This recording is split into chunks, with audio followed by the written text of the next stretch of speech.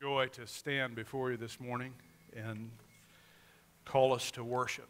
And I'm proud to be a part of this congregation, this family, and just to bow our hearts before the Lord this morning and thank Him for who He is. So let's do that together. God, I do thank you for your blessings today. Thank you for a chance to worship you. And Father, we, uh, we are so honored. Uh, Father, you commanded us to come and to obey and and, and look each other in the eye and, and bear our hearts unto you, Lord, and be honest about where we are in our lives. And we do that today. We just honestly lift up our souls unto you, thankful for the opportunity to be with brothers and sisters this morning. Father, I pray that you would uh, bless the brokenhearted today. Bless those that need strength. Father, those that need courage, those that need wisdom. Father, we come to you as a, as a child and we lift up our arms unto you, our Father, today. And we express, Lord, just our dependence. And we thank you for your faithfulness, Lord. And Father, we just come to worship you. And we love you in Jesus' name. Amen. Y'all, we do have a, a portion of Scripture that we're going to read today uh, Psalm 66. To get our hearts and minds tuned in to the Lord, if you would join me in reading. Make a joyful shout to God, all the earth. Sing out the honor of his name and make his praise glorious. Say to God, How awesome are your works! Through the greatness of your power, your enemies shall submit themselves to you. And all of the earth shall worship you and sing praises to you, and they shall sing praises to your name. Come and see the works of God. He is awesome in his doing toward the sons of men. He turned the sea into dry land, and they went through the river on foot. There we, we will rejoice in him, and he rules by his power forever. His eyes observe the nations and do not let the rebellious exalt themselves.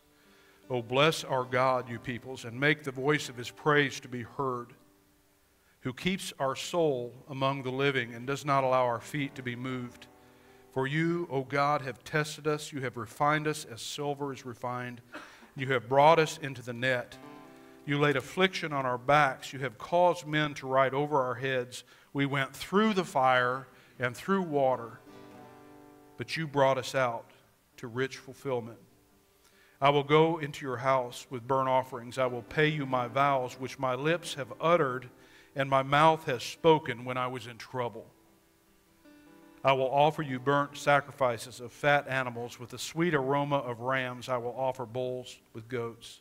Come and hear, all of you who fear God, and I will declare what he has done for my soul. I cried out to him with my mouth, and he, he was extolled with my tongue. If I regard iniquity in my heart, the Lord will not hear. But certainly God has heard me, and he has attended to the voice of our prayer. Blessed be God, who has not turned away my prayers, nor has he turned his mercy from me. We want to say before we worship today, Happy Father's Day to our dads uh, and our grandfathers, and what a blessing to be here uh, with, our, with our dad and our father, and just to worship him this morning.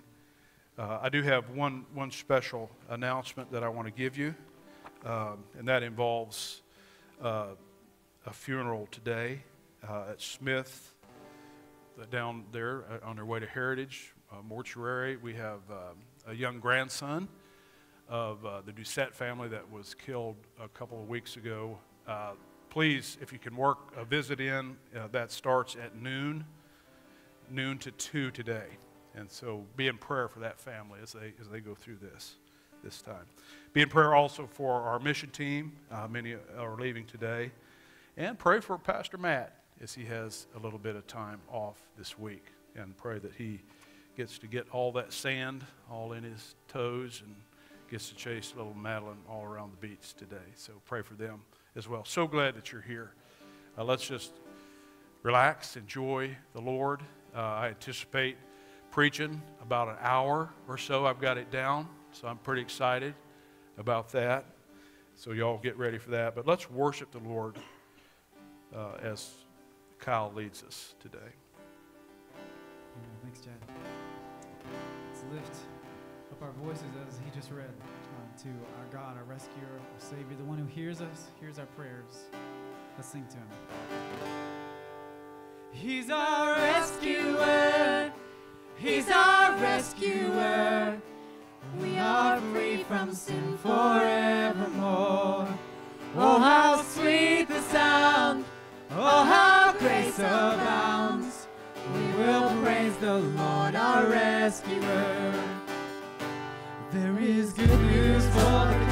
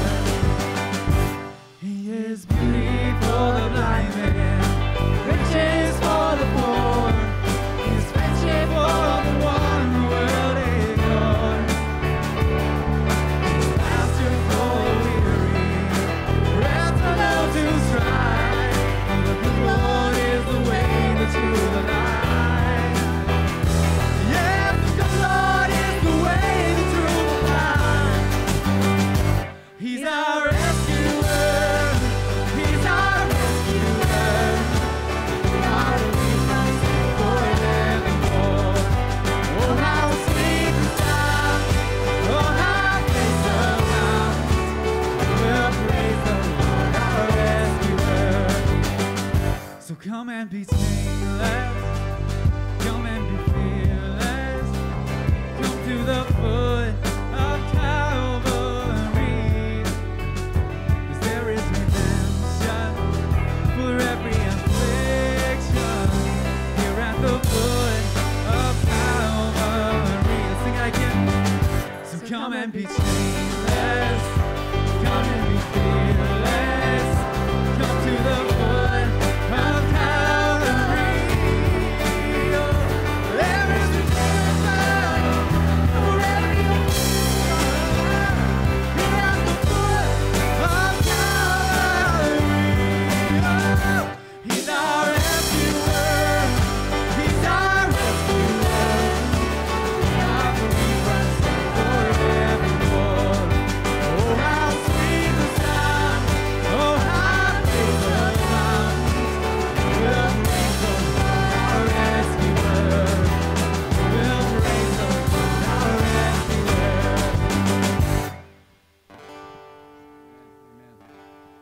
glad that's true this morning? Yes. We are free from sin. Oh, He is good. And we know that He is the only one that can carry us through. Just like Chad read, through the fire, through the storm, through the water. He led us through in the song. So, captured that so well um, about one day if we stand before the throne in front of Him, it is only because of Christ. It's only through what Christ has done. So let's let's let's testify this together um, and proclaim it this morning.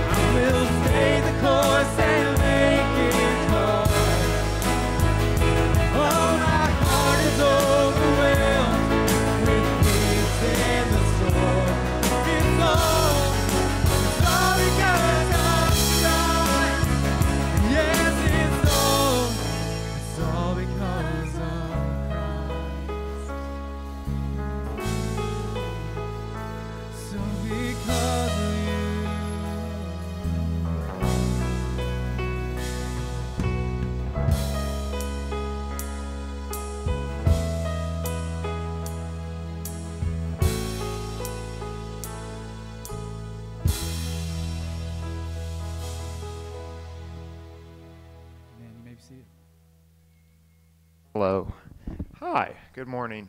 Um, so we're going to enter into our time of giving here, um, and I was thinking about what what greater way could we foster an attitude of giving than to look at the God that we are giving to and what He has done for us. So um, as we prepare our hearts to give and continue on worshiping, I wanted to read Micah seven, um, just verses 18 through 20, um, where it says, "Who is a God like you?" Pardoning iniquity and passing over transgression for the remnant of his inheritance. He does not retain his anger forever because he delights in steadfast love. He will again have compassion on us. He will treat our iniquity, tread our, our iniquities underfoot. Um, you will cast out all our sins into the depth of the sea. You will show faithfulness to Jacob and steadfast love to Abraham, as you have sworn to the fathers from this day from the day of old. So let's pray as we go into this time of giving. Um, our Father and our God, we thank you so much just for your steadfast love, that you delight in your steadfast love, God, that it is your first choice to show love towards us, God. Um, we just think about um, who you are in this text, Lord, that your anger does not stay forever. Um, Lord, that you have compassion on us, that you don't tread us underfoot, but you tread our iniquities underfoot, Lord.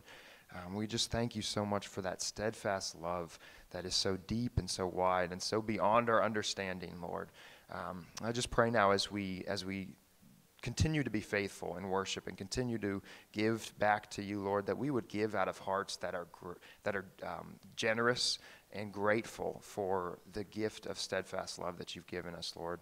Um, you are so faithful, Lord, and we want to do the same here in this time. So I pray, God, that you just be with us through the rest of this worship service, God, that it's all for you and it's all because of you, Lord. Um, it's in your name I pray. Amen. Men, you can come forward.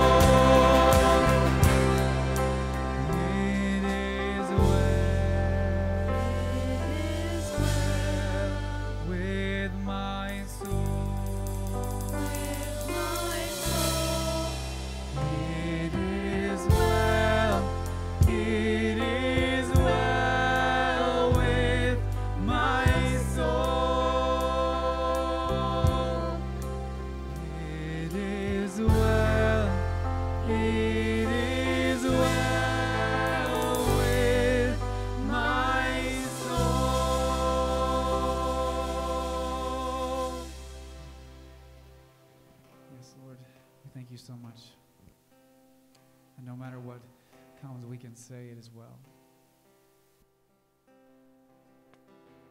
Thank you for holding us, for keeping us, for redeeming us from our sins, causing us to be born again into a living hope. Lord, our hope is only in you. I'll be with Chad now as he speaks your word, Lord. Speak through him. Lord, as always, give us ears to hear. Pray this in your name. Amen. You may be seated.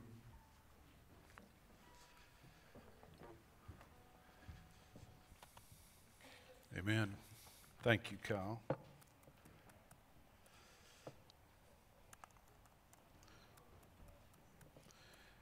My computer wants a pin to get in this morning. I have a, a root beer in my hands. Um, I'm not sure that root beer has ever been on the pulpit before, but today we're going to set a little B, uh, BGBC history. This is a gift for our dads as you all exit today. Don't be taking one if you're not a dad. I've got them counted. There's a little camera back there. I know who you are. But, dads, we love you. And this is your sweet pastor, uh, Matt Dixon. This is his way of honoring you this morning. Uh, I think the ladies got chocolate. I think I'd rather have the chocolate myself, but uh, that's not the brand of root beer that I grew up with. So it's just not as good as A and W. You know, they they were they were the thing. If y'all remember, uh, I, a cold a cold root beer with ice vanilla ice cream on a hot summer day. When I lived in Wisconsin, we were three miles out of town, a little town called Eagle River. We get on our bikes and we rode into town, and, and that was, I mean, it was the highlight of the year to get that root beer and that vanilla ice cream. Uh, kids don't know today uh, what they're missing, having to ride six miles to get ice cream, but I'm not kidding. That's what we did. You know, I, I got to thinking about today being Father's Day, and and I do believe it's probably my my favorite thing uh, to get to be a dad.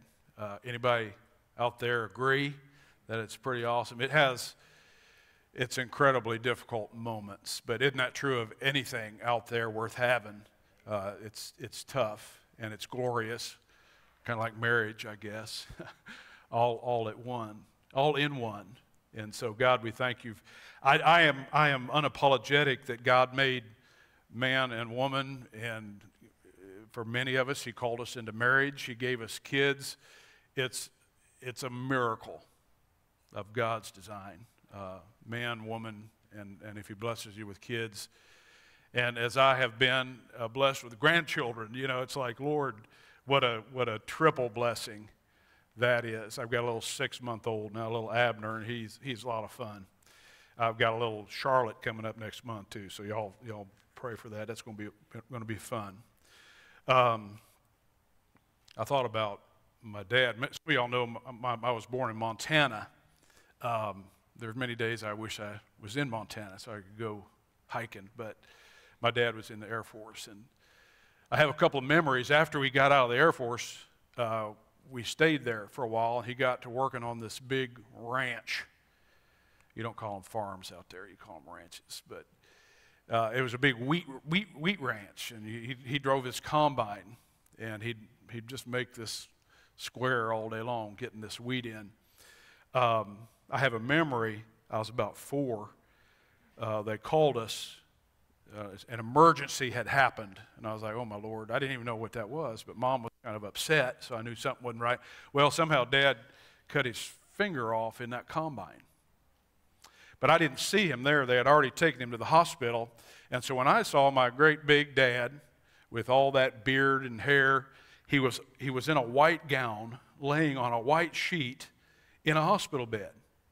And, and you can imagine that was a shocker to me, but he was laughing. And I thought uh, there was a rule that's come into my life. If you ever find yourself in, in a white gown on a white table, people just start laughing and have fun with it because that's exactly what he did. And so I'll, I'll have that memory uh, in my life. He always went around, you know, it's like, Dad, how you, how you going to make it with only four fingers? But he did good. Uh, I have another memory. We had geese out there. And I asked my dad a few years ago, I said, I said, Dad, why don't you put me down there in that pen with those geese? Because I have a memory of him holding me, and this goose had a hold of me. And we were both off the ground, and I, I don't, I'm not a big fan of geese to this day, but he, I said, Dad, why don't you put me down there in that pen? He said, Son, I didn't put you down there in that pen. He said, I was getting you out of the pen. I felt so relieved after that. I thought maybe all this time, all these years, I thought he was just being mean to me, putting me down in there with those geese. So I had a wrong perspective of, of that particular event that I'm grateful for. My dad, and he, he wasn't what you'd necessarily call a Christian man, but I pray that he's in heaven with the Lord. I don't know. Uh, I left him the gospel uh, while he was in the hospital, and, and I said, I said, Dad, would you read this? He said, Yes, son, I'll read it. And he looked at me and said, Do you have to be in the room when I do it? I said, No, Dad, I don't have to be in the room. And I left him with the gospel. So I don't know. I, I don't know what happened after that, but God knows what happened after that. I do want to talk about being uh, a man of God today. Uh, and ladies, you all are included in this. Um, but as a, as a young man, being in Montana, being in Wisconsin, being in Ohio, finally coming to Tennessee, I had a very different, different definition of what a man was from my childhood. All, all of them were bearded, they wore overalls, they chewed tobacco, and they drank. And if the car broke down, it was no problem. You just called them. And they came. And so my definition of a man when I was a kid was he, he, had, to, he had to be pretty tough, um, very capable, and had to laugh in the midst of trial. No big deal, son. We got this, you know. I've learned since then that being tough, uh, capable, funny, rich, handsome, all these things that we could enjoy and appreciate in a man are not the things that God has said for us to be. Amen? They don't come up to the standard of God. And my question to us today is what is what is it that you are seeking to become as a man of God? What's the highest the highest thing, the highest call? I believe that highest call is to be a man of faith. It's a little different than being a faithful man, even though they're tied together. A man of faith. Are you a person of faith? Are you a person that just says, God, yes, I believe? And no matter what horrible things might go on around me, God, I'm not going to let what I see pull me off of what I know you to be. God, I'm going to I'm going to have my eyes on you and all the stuff that's going on around me in life. I'm going to see it, I'm going to feel it, but I'm not going to be guided by that. I'm going to be guided by what you have said. A man of faith. At my funeral, I'd love for that to be the topic. He was a man of faith. I pray that that's the case. A man of faith, I believe he feeds his faith, doesn't he? He feeds it. It doesn't, it doesn't just happen on its own. It, it becomes a goal that you have that I'm going to grow in my faith in understanding who God is. That man lives his faith. He, he teaches that faith to other people. He obeys that faith. Faith stands quietly between what I see and what God has said and I see God answer my prayers and I declare His praise. So, number one, y'all, I just want us to kind of sell out to a new goal, especially you men.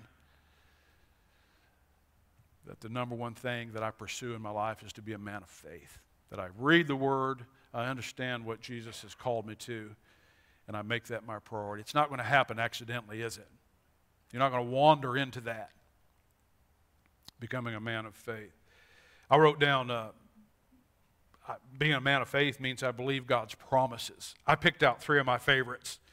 And I'm setting myself up here because some of y'all are going to say, uh uh those, those aren't the most important. I said they're my favorites, okay? You can have your favorites. My three favorite promises. I turned 56 this year. My first and for, foremost promise is the promise that Jesus has given me eternal life. Amen? Some of you old men know that that one gets more precious to us every day. I, we're supposed to be thinking about eternity. The Bible says in 1 John 5:13, "These things I have written to you who believe in the name of the Son of God, that you may what's it say? You may know. You may know that you have eternal life and you may continue to believe in the name of the Son of God." So guys, did Jesus want us to know we have eternal life? And he wants to live in the excitement of that I am excited about eternal life. I'm so excited about what God has in store. I can't even, I hope there's a lot of hiking trails. I hope there is trout fishing. I would say deer hunting, but that might get somebody a little mad at me this morning. But I don't know what God's got. I think, it, I think it's going to be just enjoying the presence of God, first of all, right? We're not even going to have to have a fishing rod to do that. But I'm sure it would help to have a good fishing rod. But anyway. 2 Corinthians chapter 5 verse 1 we know there's that word again that if our earthly house this tent is destroyed we know we have a building from God guess what it's a better building than the one we have now it's not made with hands it's an eternal building so number one I want to share with you my favorite promise promise that I cling to is just a, that I am not the end of the story and my my my monument if my wife chooses to buy me one or not, I don't know. is not the end of my story. And I have faith in God's promise of eternal life. I, number two, I have, God, I have God's promise of purpose for my life. How many of y'all need purpose? How important is purpose? I had a, a starter go out on our little 2000 Nissan. And I, I love Japanese food, don't get me wrong whoever put that starter in that particular place on that car, um, don't let me anywhere around that guy. So that thing went out, and, and I was scared. I just like, okay, I, it was like 450 bucks to get this thing put on, and that's if you can find a good one. So I called my my dear friend Rick Hips. I was like, Rick, you know, I'm scared. Hey, Chad, you can do that. I believe in you. You can do it. Come over here. I'll give you some tools. I went over and I got some tools and I got in there. I was praying like a madman. You know, and so I got through all that. And man, I, after about five days, I got it rebuilt. I put it back in and I turned that key, and you all have no, no idea what that felt like for that car to start. It was the most exciting moment outside of marriage that I've ever had in my life. It was like that little Japanese starter started spinning. What's that got to do with purpose? Have you noticed that all the the things that are difficult that we don't want to face, God helps us through them and we look back on them. And now I'm if you need a Nissan worked on, I am your guy. I have so much confidence now. Uh, but it took a little, but, but just purpose. Uh, Jeremiah 29 11 says, I know the thoughts I think towards you, says the Lord, thoughts of peace and not of evil, to give you a future and a hope. I'm so grateful that God called us to purpose. Listen to this one. Guys, this is just the intro to the message, so get comfortable. 1 Peter 2 9, you are a chosen race, a royal priesthood, a holy nation. Is there any purpose in that? A people for his own possession, that you may proclaim the excellencies of him who called you out of darkness into his light. So there's my purpose for my life. I am a proclaimer of Jesus. When people talk to me, Jesus ought to come out eventually pretty close in that conversation. I'm a proclaimer. Are you a proclaimer of the excellence of Jesus? How's that for purpose in your life? And how are you doing there? The promise of eternal life, the promise of purpose, and I love this last one before I get started on my message, the promise of blessing. This one means a lot to me. 2 Corinthians chapter 9 verse 8. Have you ever noticed that when you obey the Lord, blessing comes. When you're in sin and you are following that glittery path of emptiness and you sin, all that promise of pleasure is gone and you're plunged into despair and guilt and shame. When you obey the Lord, He blesses you. I wouldn't be standing here today telling you this if it wasn't true. What does 2 Corinthians chapter 9 verse 8 says say? And God is able to make all grace abound toward you, that you always having some of y'all need this this morning. Do you know that you are all sufficient in all things? Not because of your skills, but because you have the blessing of the Holy Spirit in you. The Bible says, You always having all sufficiency in all things may have an abundance for every good work. I get up in the morning and I can face my day because I have that promise from Jesus. Amen? Some of y'all wake up out there. I get excited that God is going to bless me and make me all sufficient because growing up and going through divorce, that's the first thing I learned is how insufficient I really am. And I, I feel that every day. God says, okay, so you feel it. Get over yourself. I'm not insufficient. You are weak. I am not. So, since I am strong, guess what, Chad? You are strong. Isn't that great how God has just done that in His majesty? God, I have a, uh, guys, I have a promise that God made to Abraham. I want us to grow in faith. I want us to become, I want to become like Abraham in my faith. The Lord said to Abram, Genesis 12, 1 through 3, Get out of your country, from your family, from your father's house, to a land that I will show you, and I will make you a great nation. I will bless you, and I will make your name great. And you shall be a blessing. And I will bless those who bless you, I will curse those who curse you. And in you all of the, all of the families of the earth shall be blessed. And that's us too. We are blessed in who Abraham was. But do you see that promise that God gave him? Abraham, get out, go. I'm going to bless you and make you great. Genesis chapter 15, 1 through 6. After these things, the word of the Lord came to Abram in a vision. He said, Don't be afraid, Abram. I am your shield, your exceedingly great reward. But Abram said, Lord God, what will you give me, seeing I go childless? The heir of my house is Eliezer of Damascus. And Abram said, Look, you have given me no offspring He's about 75 years old at this point. And I know 75 today and 75 then was different. I get that. Indeed, one born into my house is my heir. God, I want a son. You've given me one, but he's, he's not the son from my wife. He was a son from a, a maiden, a handmaiden. Behold, the, wor- the word of the Lord came to him, saying, This one shall not be your heir, but the one who will come from your own body. So, this is the promise that Abraham had to start to have faith in. He had to start believing. And he brought him outside and he said, Look towards heaven, count the stars if you're able to number them. And he said to them, So shall your descendants be. Do you see the promise that God gave? Um, I can't even speak to what's going through Abraham's mind. Um, if my history is right, he goes about another 25 years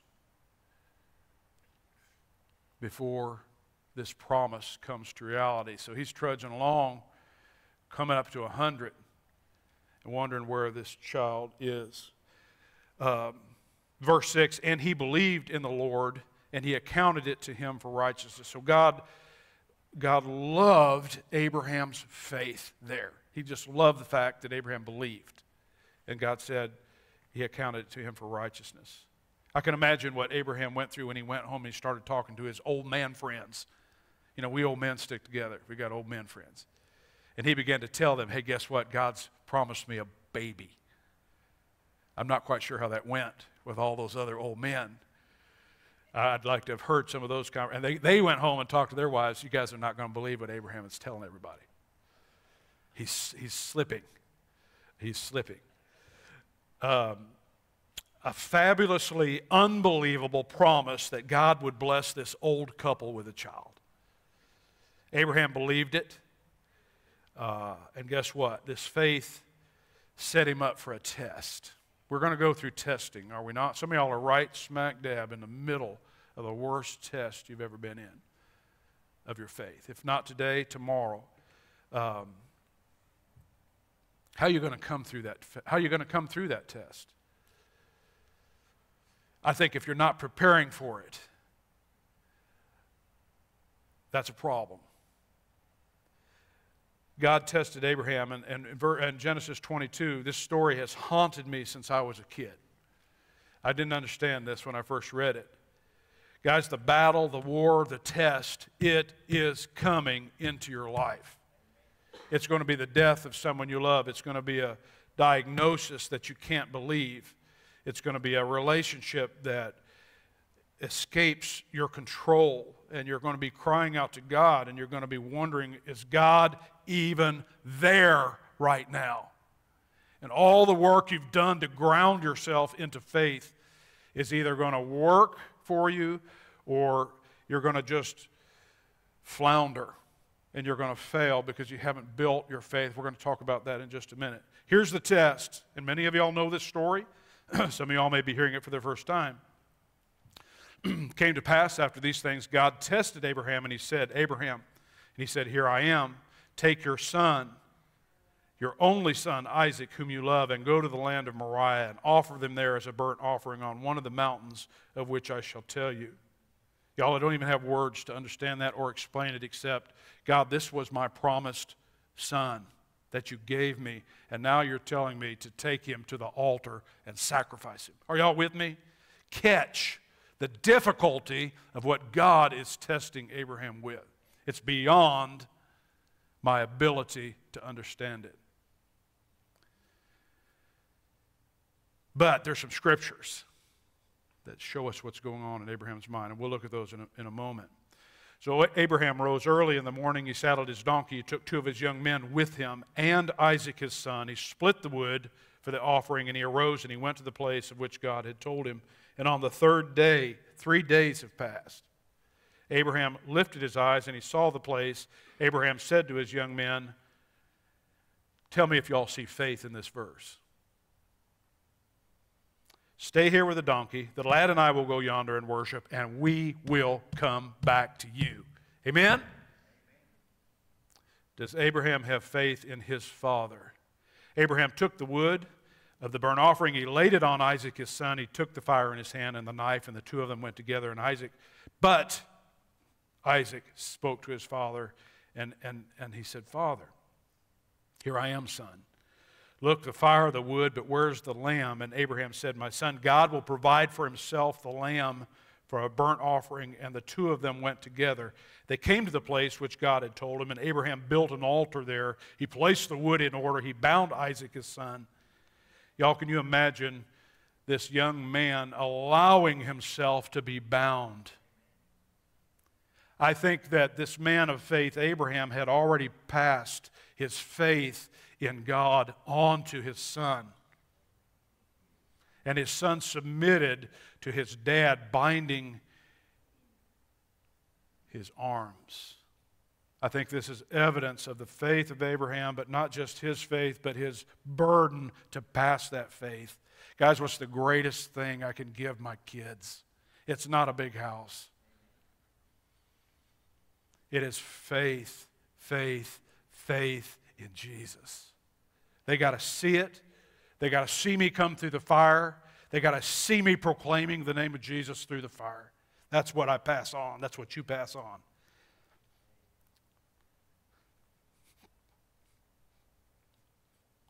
Amazing. Verse 10. Bible says Abraham stretched out his hand. He took the knife to slay his son, but the angel of the Lord called to him from heaven, and he said, Abraham, Abraham. He said, Here I am.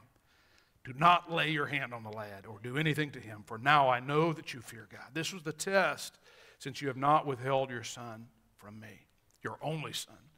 Abraham lifted his eyes and he looked, and behold, there was a ram caught in the thicket.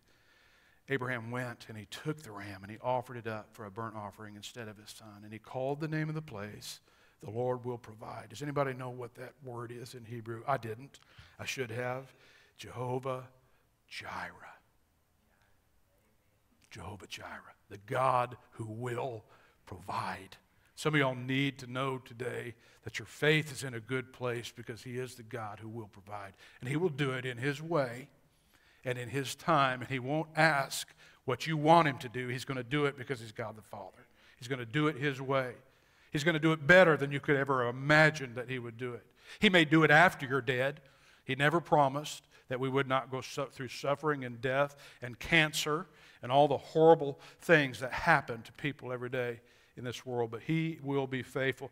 I think about we get images of Earth now from the satellites, and you know, I, we can see this side of the Earth, and you and I are so busy being consumed in our little day to day. I leave today on a mission trip. I got to go home and pack, and I've got that on my mind, and you know, what's the food going to be like tonight over there on this mission trip? Do they know what they're doing? Can they? What's my bed going to be like laying on that floor in that gym? You know, I have my eyes on my little bitty life.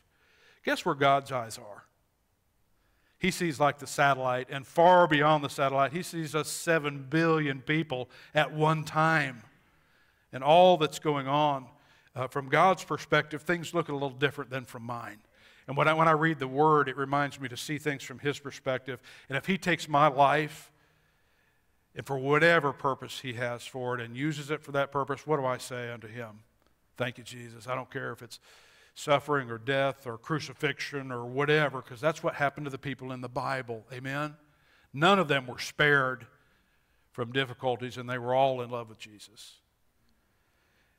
God looks at Abraham and he says, Abraham, you're going to go through this test. We are going through testing.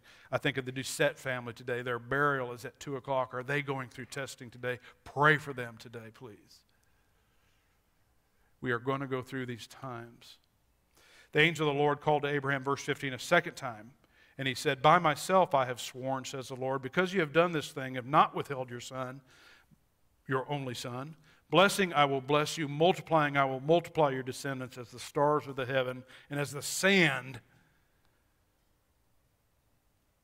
Is there more sand than there are stars? Or are there more stars than there are sand? I don't know. Uh, I wish I was in the sand right now. That'd be great. God says, Listen, I want, to, I want you to look up and I want you to look down. I want you to look at the stars. I want you to look at the sand. There's my promise to you, Abraham your descendants will possess the gate of their enemies, and in your seed all the nations of the earth shall be blessed because you have obeyed my voice. So Abraham returned to his young men, and they arose and they went together to Beersheba. Folks, that's faith, isn't it? I want to be super clear this morning. God's going to call you through the test, and by faith in Him, you will get through it, but you got to grow your faith. You got to be doing things. And I'm going to give you some things here in just a moment. God expects big faith in us. He expects big faith in us in the moments of horrific doubt, horrific pain, uh, horrible death. God wants us to look to Him. Yes, we are grieving, but we are grieving as men of faith. We are grieving as women of faith. Galatians 3, verse 5 through 8, sheds, sheds a little light on this. Therefore, he who supplies the Spirit to you. I love that part of the verse. How many of y'all need the Spirit of God supplied to you today? Therefore, he who supplies the Spirit to you. Guys, when we come up on our, pro- our problem, excuse me, we just see the problem and we're, oh, woe is me, I've got this problem. What are we not seeing?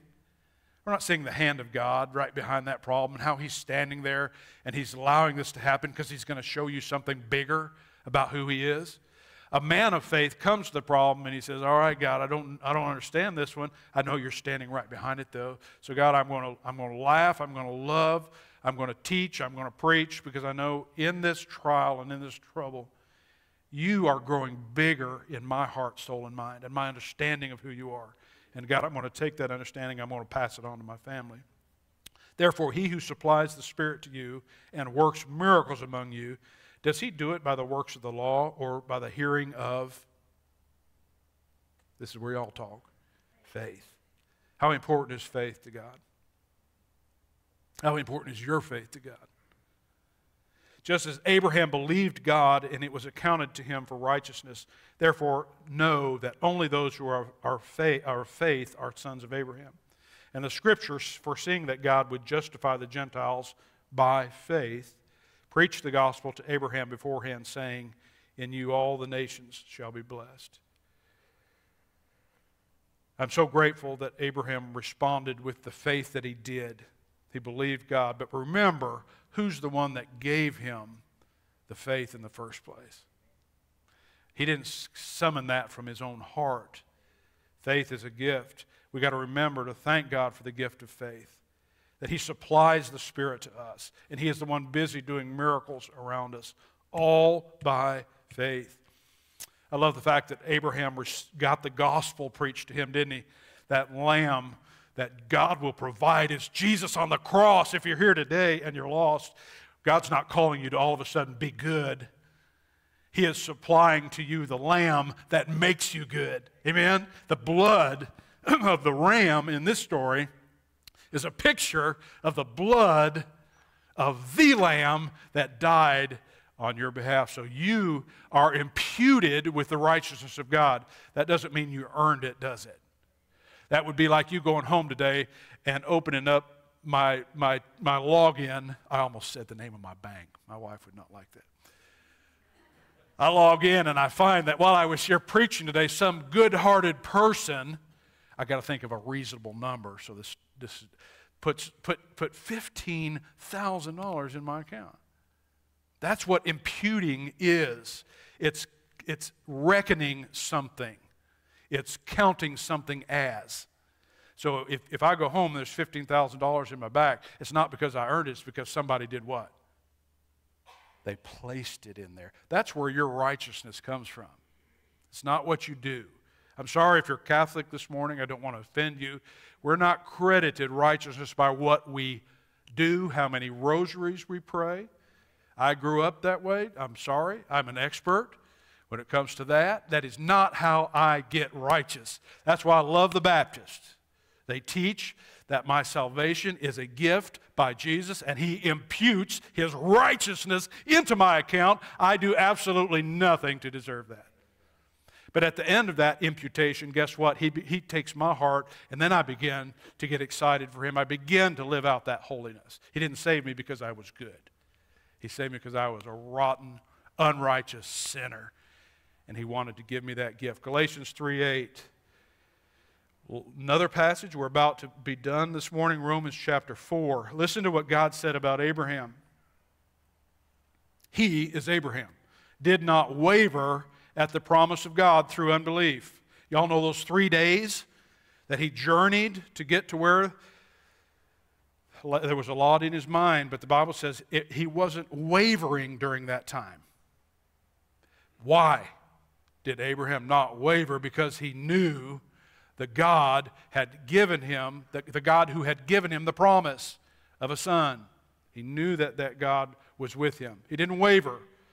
Guys, in our, in our moments of difficulty, do we waver? The answer to that is probably what? Do you waver in the test?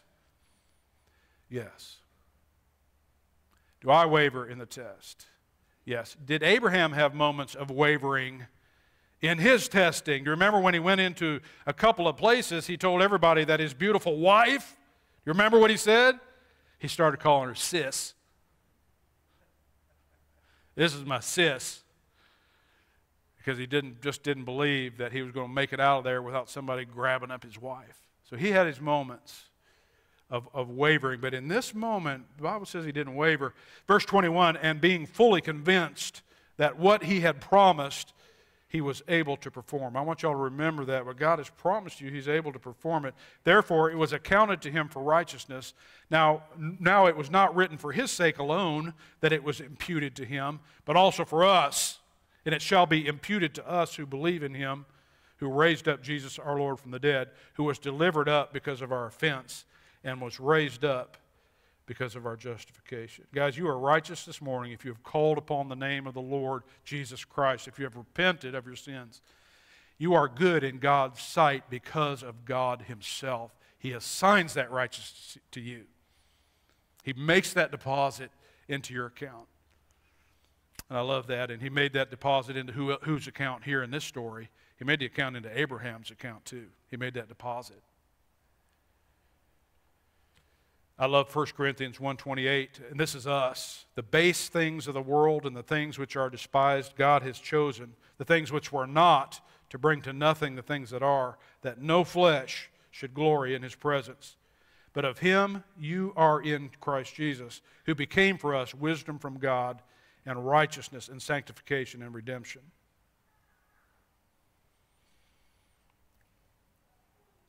Abraham, Hebrews 11 19 he concluded that God was able to raise him up even from the dead. So Abraham believed even if that knife had gone into his son. God, this is, this is uncomfortable stuff. Even if, if there had been blood on the altar, that, God, that was no problem for God the Father. That was no problem for God to heal that son.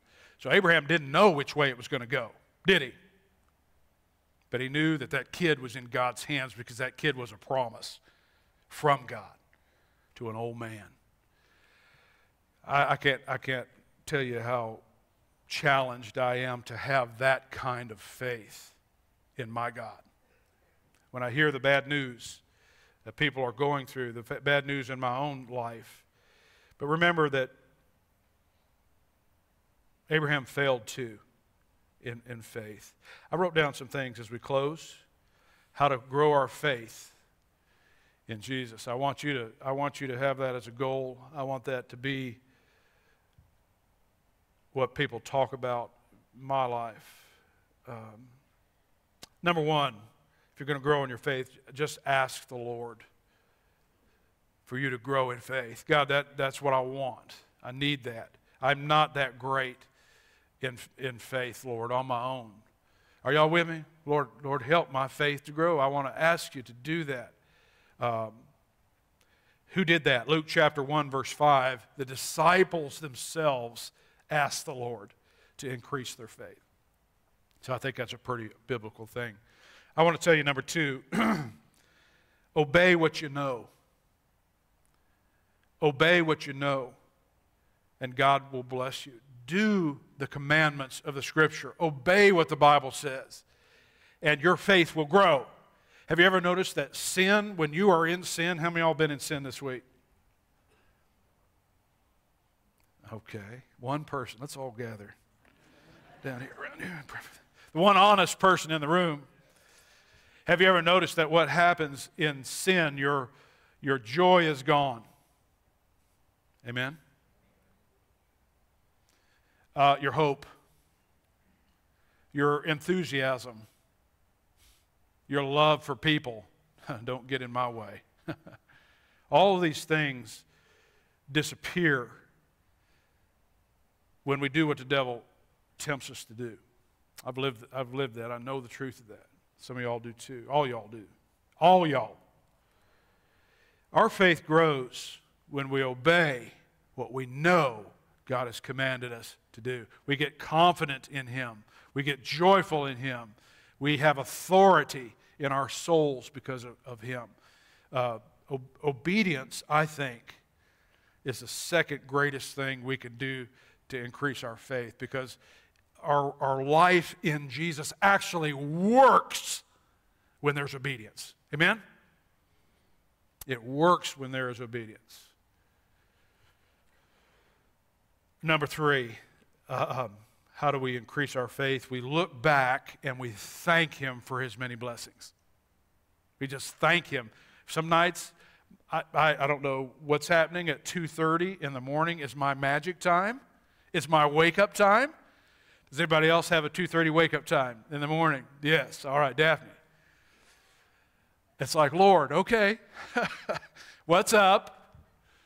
Um, it's a great time to begin to thank God for all the blessings. If you're anxious about something, you're worried about something, guess what? That's not faith, is it?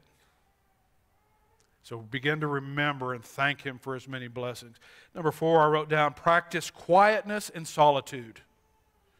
Go sit on the porch, Don't have anything in your hands and just sit there and say, Lord, I'm going to be quiet.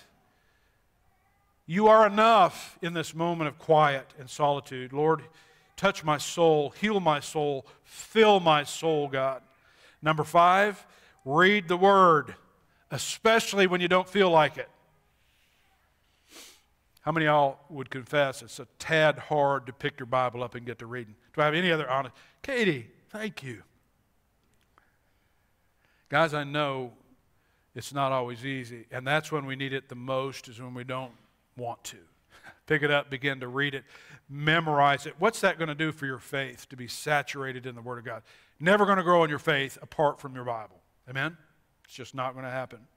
So read the Word, memorize it. I wrote number six ask God to make you despair of social media and entertainment. Now, how many of y'all love social media and entertainment? I do. I follow about 600 people on Instagram that fish for trout. I follow all kinds of people who are experts in taking every bolt out of old tractors. I, I cry. I cry when I see those old tractors just and new gaskets. It's, it's it's beyond watching a child get born. I mean, it's amazing to watch that tractor get.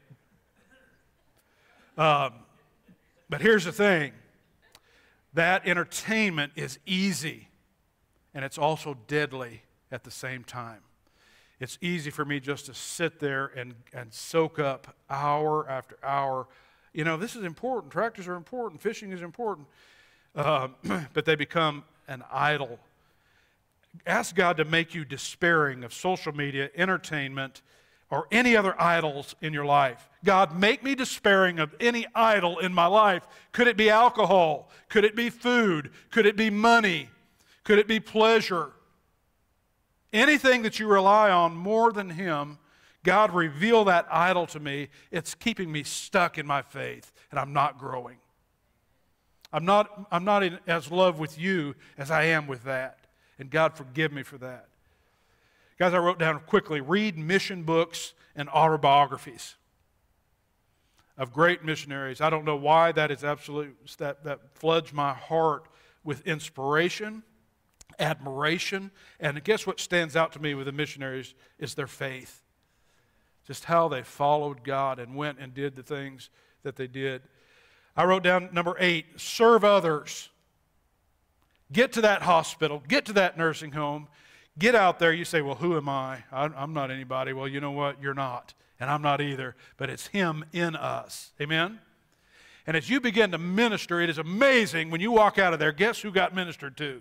Y'all ever learn this you get the blessing, you get the, you get the ministry done to you by the Holy Spirit that's in that room. You were supposed to show up and have the words, and you got touched. That grows your faith. As you begin to not live for yourself, you begin to serve others. Number nine, I love this one. Caroline does this all the time. Listen to your favorite preacher. Just sit and soak. For me, I love to listen to David Jeremiah. I'm a David Jeremiah guy. I'm a John Piper guy. I'm a John MacArthur guy. Man, those guys get to preach, and you know what's happening in my chest as those guys are preaching and teaching the Word of God? I'm sitting there going like this. Mm. Yes, because the truth that's coming is resonating with the Holy Spirit that indwells me. And God is teaching me truth through the preached Word of God. So, guys, we, we, here's the thing we don't listen to ourselves because what are ourselves telling ourselves? God, are you there? I'm just not feeling it. I'm feeling doubtful. I look at the world. I look at the president. I look at the Congress. Things are going to heck. And you start listening to all this. Instead of preaching to yourself, you're listening to yourself, and that's absolutely the wrong thing to do. Amen? Quit listening to yourself. Start preaching the truth of God to yourself and listen to people that are preaching that.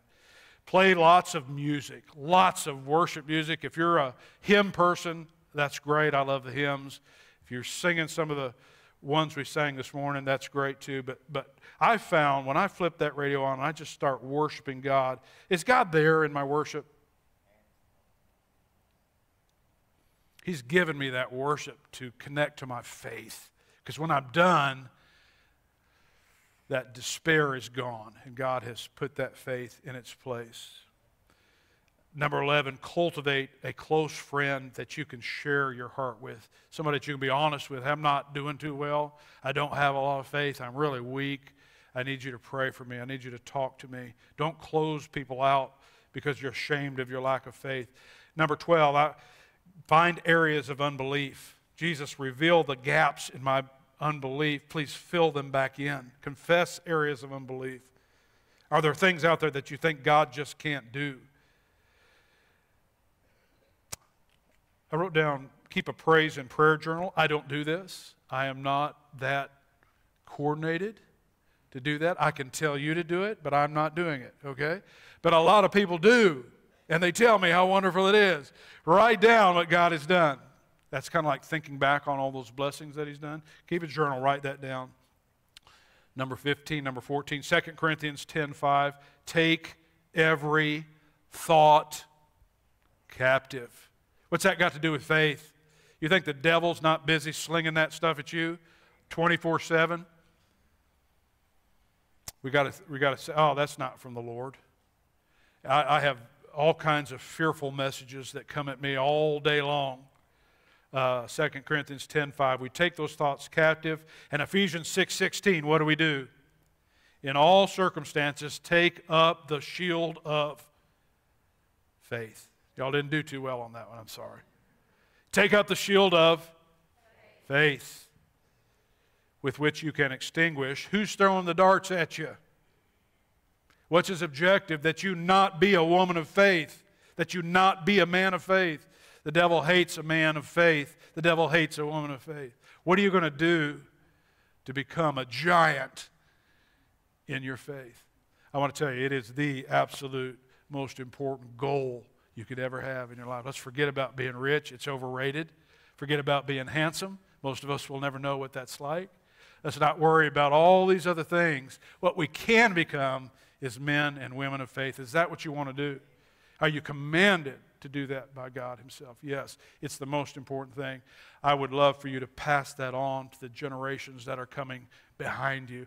About all I remember about Grandpa Chad is he was a man of faith. That's what they, that's what they tell me. Is that your goal? I think you're going to hit the goals that you have. Make that your goal today. But be amazed at the story of Abraham and this call that God put on him to take his son. Father, help us to realize that you've called us to some very big things. And some of those things are far bigger than we are. They require far more than we have to give. But Father, nevertheless, you are God and you call your people to big things. Father, help us not to be afraid. Help us to be men and women of faith. But Father, help us to want that. Help us to become that by your Spirit, by your provision, God. We submit today, we open our hearts up to being greater people of faith, especially today in this world that we live in, Lord, where people disparage your name, they disparage your existence, God. Father, we know you have saved us. We know that you have saved us. You changed our desires. Father, help us to just be strong in this area of faith, to grow in it, to love it, to challenge each other in it. Father, maybe we be a church of faith that believes big things for what you can do and are going to do and are doing. And Father, we pray today for the Doucette family as they go through the death of a grandchild, God. May you touch their faith today, be their comfort, be their strength today, Lord. We love you, Jesus. We pray in your sweet name. Amen. With heads bowed, eyes closed this morning, I would like to, number one, ask Do you know Jesus Christ as your Lord and Savior? Has there been a moment in your life where you responded to Jesus, where you said yes to Jesus? He convicted you that your life was full of everything but Him has there been that moment of repentance where you agree, Jesus, I am a sinner and I need salvation? I'm going to be down here in the front in just a moment. Would you come? Enough of running from God. Enough from running from God. Today is the day of salvation. You know that what you have is not right, not good, it's not of Jesus. and you would say unto God today, Jesus, I receive you into my life. You've been calling me. You've been, my heart has just been experiencing conviction because of my sin, and God, I repent of that today. Perhaps you are a child of God and you would make a commitment of repentance in some area of your life and you need someone to pray with you about that. Perhaps you're just discouraged and worried and you need a word of prayer. And we'll be down here at the front. Please be praying right now for God's Spirit to be with us in a mighty way. That's what we need, isn't it? That's what we want the Spirit of God having His way. And I pray that His Spirit would have His way in us today. I'm just going to wait here for a moment. Is there somebody that needs salvation this morning? It's not from me, it's not from you, it's from God Himself, and He's calling you to salvation. Step out and come. Don't be ashamed. Come.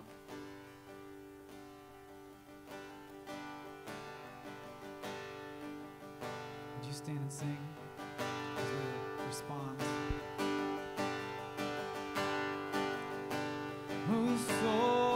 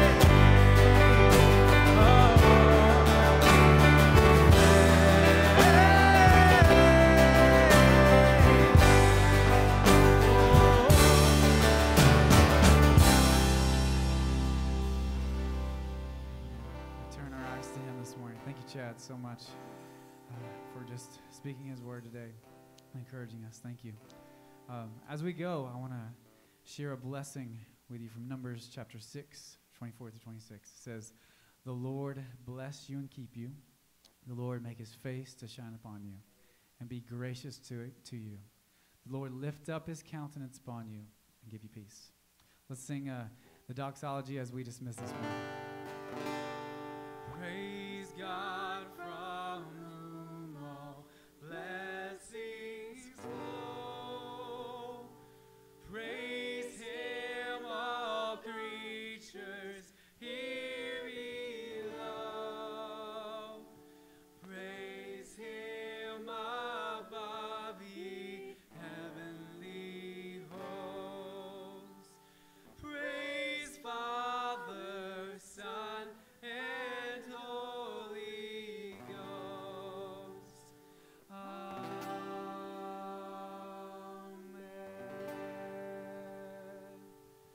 peace.